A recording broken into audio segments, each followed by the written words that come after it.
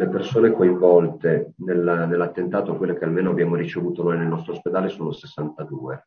Eh, sono rimasti coinvolti sia donne che uomini che bambini. Una cosa che ho notato è che rispetto alle mass casualty che avevo fatto, che ho fatto in questi anni, in questa mass casualty in particolare c'era uno sguardo nelle persone che era estremamente assente e eh, più che disperato proprio assente, eh, come se avessero visto un, la cosa più brutta del mondo, come se, se fossero appunto stati investiti dalla, da, dal terrore più profondo. Questa cosa qua è una cosa che ho notato e l'ho vista in tutte le persone che sono arrivate.